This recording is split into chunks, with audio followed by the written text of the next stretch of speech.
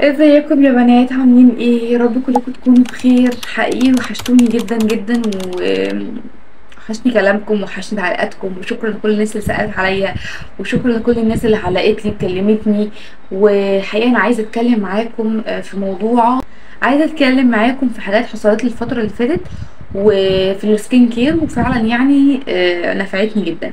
كلنا بيجي علينا وقت كده عارفين لما بيمر علينا أوقات صعبة مش معانا فلوس فلوس الشهر خلصت بتبقي محتاجة منتجات عناية بتبقي محتاجة حاجات مهمة آه، للعناية الشخصية وفجأة بتلاقي نفسك كده تحسي إنك فقيرة كده آخر الشهر وتبقى الدنيا مش متظبطة بسبب بقى يعني ميزانية بسبب أكل غالي بسبب مرتب مش مكفي بسبب حاجات كتيرة جدا.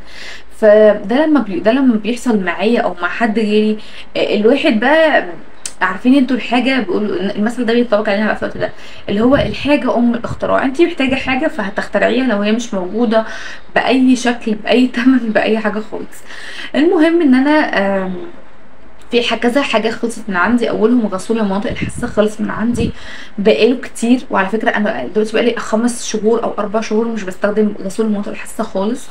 بفضل الله مفيش أي حاجة مفيش أي مشاكل عندي بسبب عدم استخدامه. وده حصل لي إزاي بقى؟ تخيلوا.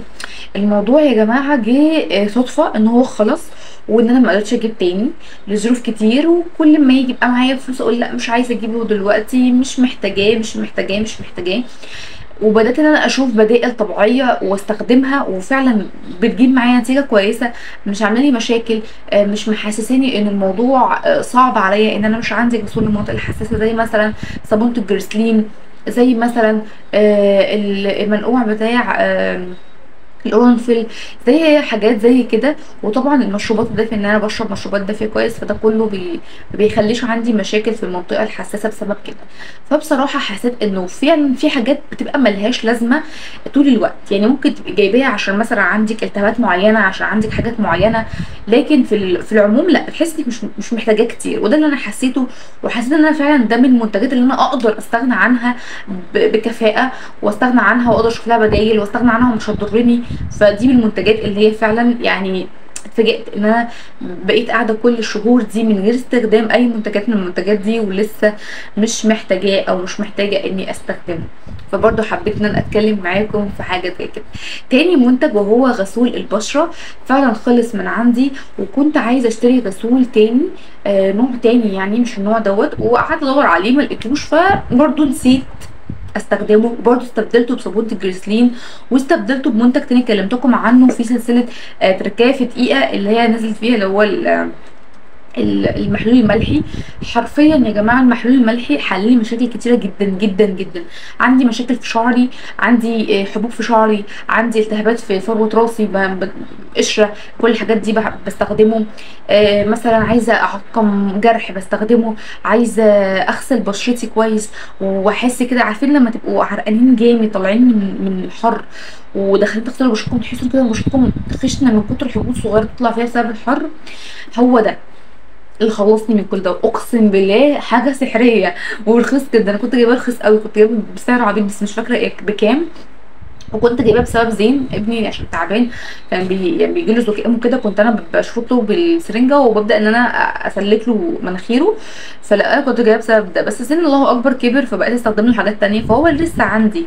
بس أنا كل ما أجي أستخدمه ألاقيه في أستخدمه. أروح بحط كده شوية على إيدي وأروح شوية حاطة كده على بشرتي حاطة على حبايه طالعه لي آه، حاطة على مثلا حمونيل طالع لي في منطقة الشولدر دي. آه، كده يعني فاهمين قصدي؟ بقيت أستخدمه في حاجات كتير قوي. وفعلا حسسني إن أنا ممكن استغنى عن منتجات كتير بسببه من ضمنها غسول البشرة الدهنية اللي هو أنا بسم الله ما شاء الله بقالي 3 شهور مفيش غسول للبشره معايا. وأديكم شايفين أو في بعض الحبوب لأن أنا أوقات بنسى إن أنا أحط أستخدمه بس بستخدم مرطب على طول وبستخدم كمان صابونه الجريسلين فصدقوني يا جماعة في حاجات كتيرة جدا ممكن تستغنوا عنها عندكم في البيت وتستبدلوها بحاجات أرخص وتستبدلوها بحاجات اقتصادية وتستبدلوها بحاجات اللي هو من باب التغيير من باب إن انت تغيري من باب إن انت مثلا مش معاكي فلوس ما تحسيش نفسك إن انت فقيرة أو انت مش عارفة تشتري حاجة. انت ممكن تشتري آه، اللي يناسبك أو ممكن تستخدمي اللي يناسبك اللي موجود معاكي في البيت من غير آم، ما تحسي إنه في تقشف عليكي أو كده. تمام؟ طيب بالنسبة بقى لل scrubbing ال scrubbing بتاعي برضو خلص. أو ال shower sorry ال shower خلص وما بقتش معايا shower استخدم إيه بدل ال shower برضو صابونة الجليسرين دي أساسي معانا يا جماعة من أول الفيديو دي أساسية معانا فال shower خلاص خلاص. فاشتريت صابونة الجليسرين لأني فعلا بحس إن ال shower بيحسس لي بشرتي أي نوع بسبب الحر الشديد اللي بيبقى في الشقة هنا وبيبقى في الجو عموما بره. فقررت إن أنا أجيب صابونة الجليسرين وأستخدمها دوما وحقيقي بتفاجئني دايما قد إيه هي لطيفة على البشره قد إيه هي رخيصة مش غالية قد إيه هي بتمنع عني مشاكل كتير ليها علاقة ببشرة الجسم بشرة الوجه وبشرة أي بشرة في- يعني في جسمنا أو أي نوع من أنواع البشرة بيبقى موجود في البيت عموما. يعني زوجي بشرته غير بشرتي ابني نفس القصة. فهي صابونه الجليسرين تقدري تستخدميها للناس كلها يعني. فبرضه استخدمتها.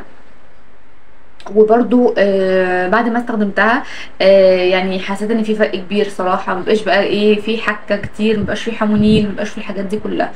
طيب إيه تاني استخد... استخدمته بسبب مكان ال shower؟ أنا استبدلت ال shower آه واستبدلت الليفة. مبقتش أستخدم الليفة كمان في الصيف. آه بحاجتين. هي صابونة الجليسرين أول حاجة والحاجة التانيه ال scrubbing الطبيعي أو ال scrubbing العادي تمام؟ فال scrubbing الطبيعي دوت أنا كان عندي نواه بلح كلمتكم عن الموضوع ده قبل كده بس من فترة طويلة. عندي نواه بلح آه، طحنتها كويس يعني آه، أول حاجة عملتها آه، سخنتها كويس بعد كده رحت طحناها حاولت أطحنها كويس قوي على قد ما أقدر. طلعت منها ناعم وطلعت منها خشن. فالناعم استخدمته كقهوة والخشن استخدمته ك scrub وفعلا يا جماعة خطير بجد. أي نوع من أنواع الزيت اللي موجودة عندك في البيت آه، زيت جوز الهند زيت اللوز زيت الجوجوبا آه، زيت آه، زيتون أي نوع زيت.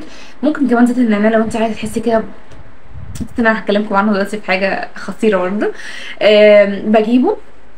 بجيب كل الحاجات دي وبخلطهم كويس قوي مع بعض بعمل بقى scrubbing لجسمي حلو قوي ريحة القهوة بتبقى حلوة قوي في الجسم وبتبقى كمان ريحة حلوة قوي في الحمام. آه كمان انت بتحسي إن انت أخدتي كده فوائد عظيمة لبشرتك وفعلا يا جماعة ما حصلش أي مشكلة من عدم استخدامي للشاور لمدة طويلة. رابع حاجة واللي هنختم بيها الفيديو هي قشرة الشعر اللي فعلا كنت كل ما أروح أشتري الشامبو أحس إن لأ أنا كأم يعني الشامبو مثلا ب 50 جنيه أو بكام مش عارفة لأ أنا هجيب حاجة مثلا للبيت أنا هجيب حاجة للزين أنا هجيب حاجة إحنا محتاجينها وبلاش أجيب الشامبو دلوقتي. لحد ما الموضوع بتاع قشرة الشعر يتفاقم جدا ومشكلة كبرت معايا قوي وأنا كنت متغاضى عنها الصراحة. فقررت إن أنا أستخدم الحاجات الطبيعية. إيه الحاجات الطبيعية؟ هما الكربوناتو من أي من أي مثلا عطار وخل التفاح أو الليمون. لو أنت ما عندكش خل تفاح يبقى ليمون. بحط مثلا معلقة كربوناتو على معلقتين من الليمون عصير الليمون وبحطهم بزودهم مية وببدأ إن أنا اشطف فروة راسي كويس قوي تحسي بانتعاش كبير قوي فروة راسك. لو انت كمان ضفتي نقطتين ثلاثة أربعة من زيت النعناع بيبقى يا جماعة خطير للشعر. بتحسي إن فروة راسك بتتنفس القشر بتمشي آه، شعرك بيطول بعدها شعرك بيبقى صحي شعرك بيبقى ناعم لأنه بيتغذى بقى بيبدأ إن هو القشرة دي تبقى طبقة كده محطوطة على فروه الراس فبتمنع بتمنع أصلا آه، يعني دخول الغذاء للشعر فانت بقى لما تنضفي كل القشرة دي أو تضافي كل الطبقة الوحشة دي شعرك كله ده طبعا هيستفاد بالحاجات الطبيعية تبقى طالعة من جسمك على شعرك. فاستخدموا الحاجات دي بجد بجد آه، بدائل خطيرة واستغناءات كده فظيعة. وفعلا انت هتقدري تستغني عن كل ده آه، بحاجات موجودة عندك في البيت أو بحاجات أرخص أو بحاجات متغيرة نوعا ما. ف إن هو يعني نشوف بدائل عشان نقدر إن إحنا نعيش في ظل ال- الغلا اللي بقى محيط لينا في كل مكان ودي بتبقى حاجة بجد صعبة جدا. وبس كده كده يا حلوين. نشوفكم إن شاء الله في فيديو جديد على خير. ويا رب تكونوا استمتعتوا بالفيديو وشفتوا استغناءات لأربع منتجات.